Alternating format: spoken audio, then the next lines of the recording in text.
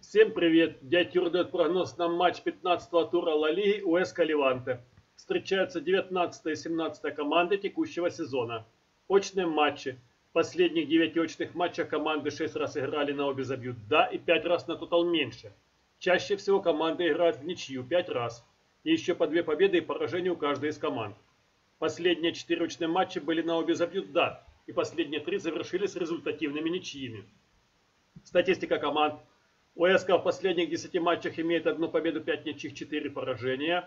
Леванте в последних 10 матчах имеет 3 победы, 5 ничьих, 2 поражения. УСК последние 3 матча и последние 3 домашние матча отыграла на тотал меньше. Леванте последние 5 выездов в Ла Лиге отыграл на тотал меньше. Как видим, в последнее время обе команды чаще играют низовые и нулевые матчи. В предыдущем туре УСК проиграла в Бильбао 0-2, Матч стоял на 0-0, если бы не нарушение Пулида на 85-й минуте своей штрафной, которое повлекло его удаление и пенальти.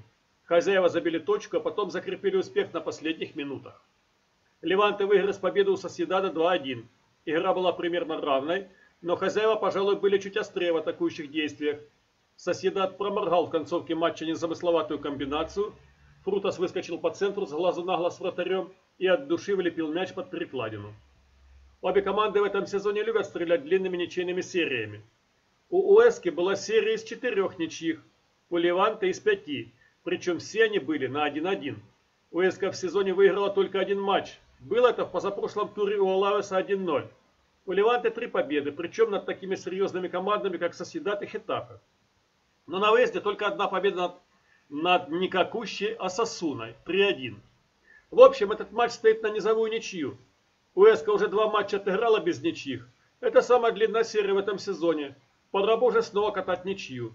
Буки почему-то на этот матч поставили фаворитом гостей. Но Леванте сейчас э, хозяев.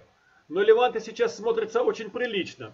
В последних четырех матчах три победы и достойное поражение 0-1 на Камп Ноу, которого могло бы и не быть.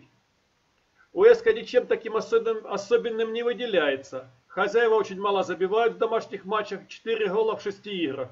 Если исходить из увиденного в последних играх, Леванте сейчас выглядит получше и не должен бы этот матч проиграть. Учитывая тот факт, что последние 4 очные матчи этих команд прошли на обе забьют «да», велика вероятность нулевого матча. Но с другой стороны, в этом сезоне и УСК и Леванте немного играют нулевых матчей. У УСК вообще не было подряд более двух нулевых матчей а два последних матча ОСК уже отбабахала на обе забьют нет. Поэтому тут примерно 50 на 50 между низовым и результативным матчем и нулевыми матчем на обе забьют да. В норме, пожалуй, за базу можно взять вариант счета 1-1. Из связки ставок тотал меньше обе забьют да x2. Самый высокий коэффициент стоит на тотал меньше 1,95. На обе забьют да 1,73. На x2 1,61. Если выбирать один вариант, то эта игра может быть как результативной, так и низовой, о чем говорят равные коэффициенты на тотал меньше-больше.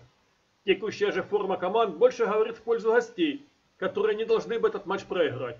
Но у вас может быть иное мнение на этот счет.